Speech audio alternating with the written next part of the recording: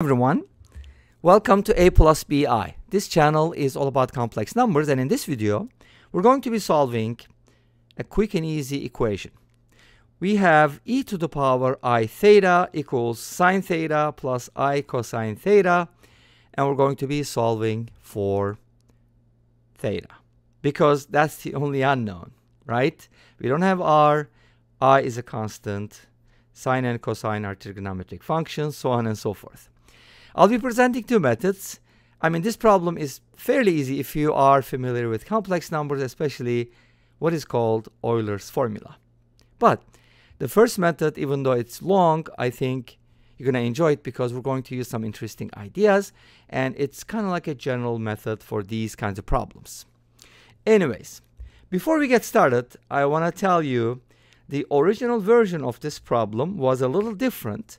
It was e to the i theta equals sine theta minus i cosine theta. I don't know wh why I thought of this problem. And then when I checked it out, it did not really come up with a good solution. So you might want to try to solve the other version as well and let me know how that goes. I don't want to spoil the surprise. I'm going to leave it to you. Anyways, that was just something that I wanted to share with you. I hope you can, you know, try to solve it and let me know. So in order to be able to solve this problem, we're going to start with the first method because the first method is more fun, which means more work, right? Here's what I'm going to do. I'm going to multiply both sides by i.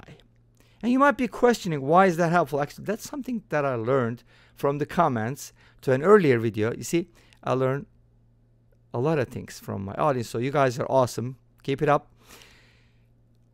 I multiply both sides by i because it helps. So let's see. i times e to the i theta equals i sine theta plus i times i, i squared cosine theta. Hopefully you know i squared is equal to negative 1. If not, please check out the lecture videos or just look it up. i squared equals negative 1 by definition. It's actually the number whose square is negative 1. Imaginary number, whatever you want to call it, fake number it's actually very, very real. Anyways, in, in a different sense. So, what does this give us though, right? Well, we kind of have something interesting on the right hand side because it kind of switches the sine and cosine, but it also negates the cosine. You see what I'm saying? So we're going to write this as negative cosine theta, writing this part first, plus i sine theta. So if I had cosine theta plus i sine theta, I was going to be like, yes, I got Euler's formula for e to the i theta, but this is not it.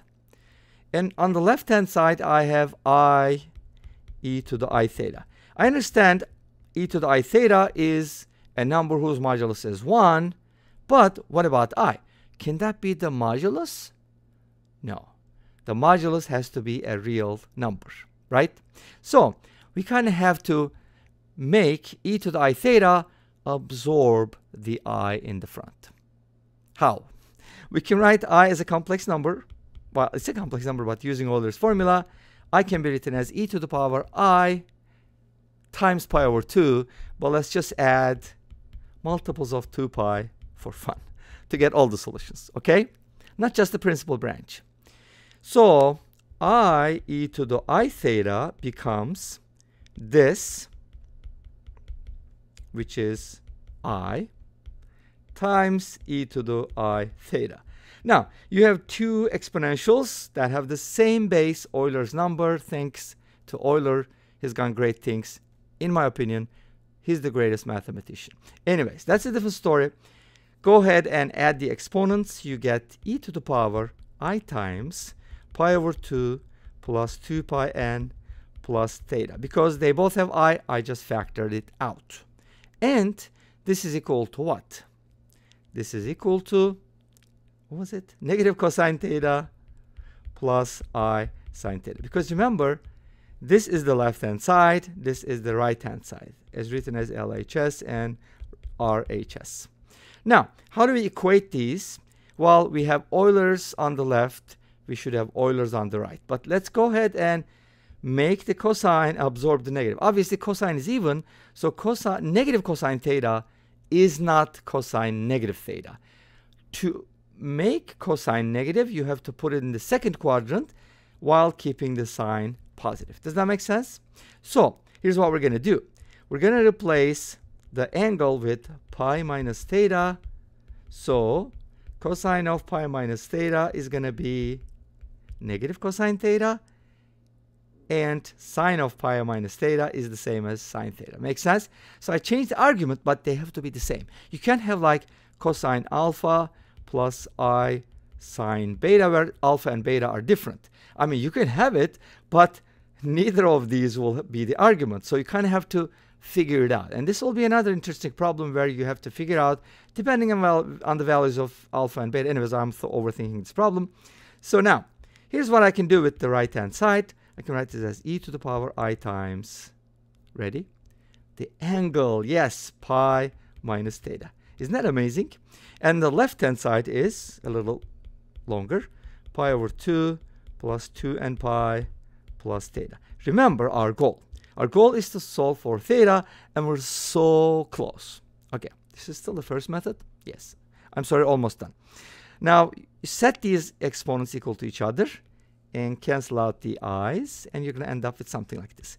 Pi over 2 plus 2, did I write it as 2n pi? Same thing as 2 pi n plus pi, I mean theta, equals pi minus theta from here, okay? Now, we're trying to solve for theta, so let's go ahead and put the thetas together. 2 theta equals pi minus pi over 2, which is pi over 2, minus 2 pi n. Remember, n is an integer, and what about negative n? It's also an integer. Let's replace negative n with k. We get 2 theta equals pi over 2 plus 2 pi k. You know what? Before I divide both sides by something, I want to make it positive because you can't just divide it by 2. Well, in this case, it's okay. Half of 2 pi is pi. Half of negative 2 pi is negative pi. And negative pi and pi are the same. But that's a very specific scenario. In general, it's not going to be true. So be careful about that. And now you can divide both sides by 2. And that's going to give you pi over 4 plus pi k. Amazing, right? We got all the solutions. This is the general solution. But if you just use k equals 0, you're going to get pi over 4. If you use k equals 1, you're going to get 5 pi over 4, so on and so forth. Make sense? There are infinitely many solutions. Let's go ahead and talk about the second method real quick because it's real quick. And then we'll finish up. All right. So we were given the following equation. e to the i theta equals sine theta plus i cosine theta. If somebody saw this problem, they would probably think like, hey, they have a typo. Aren't they supposed to switch around? Yes and no, depends. Because the left-hand side is cosine theta plus i sine theta. And the right-hand side is what it is, which is sine theta plus i cosine theta. Wow, what does that mean? It just means that the real parts are equal and the imaginary parts are equal. And from here you get sine theta equals cosine theta. And guess what? You get it twice, just confirmed. what is that supposed to mean? as long as cosine is not 0, which is not because it doesn't satisfy this equation, we can divide both sides by cosine and get tangent theta equals 1. And guess what? This gives you two solutions between 0 and 2 pi. And those solutions are pi over 4 and 5 pi over 4. And this brings us to the end of this video. Thank you for watching. I hope you enjoyed it. Please let me know. Don't forget to comment, like, and subscribe. I'll see you next time with another video. Until then, be safe. Take care. Don't forget to follow A plus BI. And bye-bye.